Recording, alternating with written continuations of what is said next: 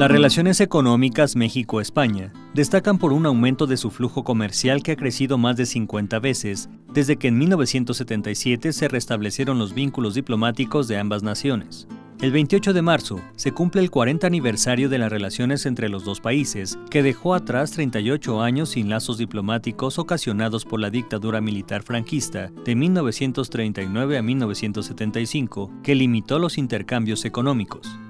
En 1977, los gobiernos del mexicano José López Portillo y el español Adolfo Suárez decidieron restablecer las relaciones diplomáticas en un momento en que el comercio bilateral ascendía a unos 140 millones de dólares. En 2016, el flujo comercial alcanzó los 7.736 millones de dólares, según la Secretaría de Economía de México, que sitúa a España como su noveno socio comercial y el segundo entre los países de la Unión Europea.